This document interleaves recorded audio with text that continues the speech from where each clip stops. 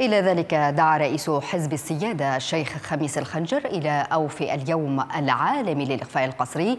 دعا إلى ضرورة الكشف عن مصير آلاف المخفيين قسرا من أبناء محافظات الأنبار وصلاح الدين ونينوى وكركوك وديالى بالإضافة إلى مناطق شمال بابل وحزام بغداد خلال فترة الحرب على الإرهاب. كذا الخنجر أن تصديق الحكومة على مشروع قانون مكافحة الاختفاء القسري يضع مجلس النواب أمام مسؤولية كبيرة لتشريع قانون يجرم الإخفاء القسري ويعتبره جريمة مستقلة في التشريع الوطني. وشدد على ضرورة معرفة مصير ضحايا الاختفاء القسري وتعويض المتضررين بالإضافة إلى محاسبة مرتكبي هذه الجريمة البشعة.